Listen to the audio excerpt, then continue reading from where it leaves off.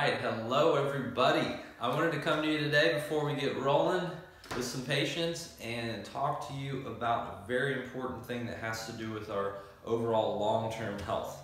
And that's whether we have anterior head syndrome or whether we're looking just like that, head right over the shoulders. So there's three main areas. This is gonna be an interactive video, all right? So this is gonna be fun. We're gonna get up, we're gonna move around and I'm gonna show you exactly how this anterior head syndrome is gonna affect your health immediately. And we know that it's gonna be long-term as well because that's going to negatively impact how well the brain is able to communicate with everything below all of those organs. But three main things. Number one, I want you to get up out of your chair. We're gonna see how it affects our rotation left and right. So I want you to imagine your chin has a railroad track coming right out of it. And we're gonna stick that chin out on the railroad track. Turn right as far as you can. Turn left as far as you can. Now if you're like me, you're gonna notice these muscles on the side of your neck get real tight. And for me, I start getting tension at the base of my skull here. Okay? So muscles are gonna lock up because they're not meant to have to hold the head up, which is about 10 pounds at least for most people. So for me, you can see I can't turn very far. But when my head is nicely placed on top of my shoulders, nice and normal there. So try that on yourself. Next thing we're going to do is see how far we can look up. Okay, so I'm going to show you, for me, what normal is. Good. Nice extension. I got my adjustment this week, so that helps. We're going to jut our chin out, and I'm going to try that again. Can't do nearly as much extension with that.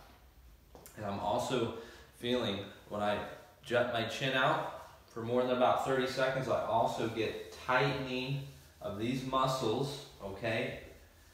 Going into the shoulders, that's gonna get much tighter. And that's our next thing, our third thing that we're gonna test.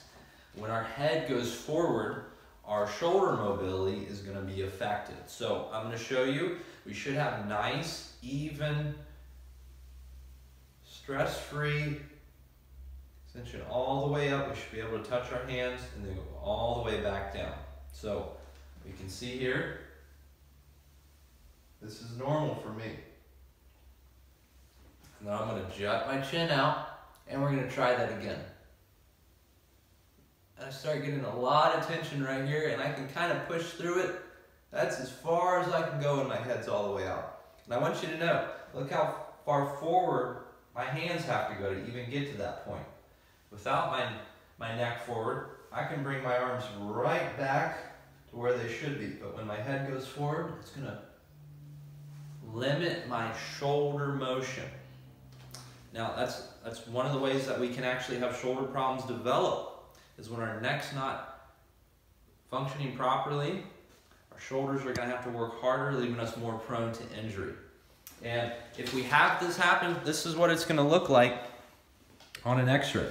So we've got this laminated here. So you can see there's the top of the shoulders and the head is way far out in front of where it should be. And we don't want this to happen to you. We want you to look, feel, and function young for as long as you can. So if we find that on you, when you're a patient here, we're gonna of course adjust. We're gonna find the areas of your spine that aren't functioning right. And then we're gonna give you things to do at home, speed up your recovery, stabilize that area and keep you looking and feeling young. So thanks for watching. I hope you had some fun with us today. Have a blessed rest of your day. We'll see you next time.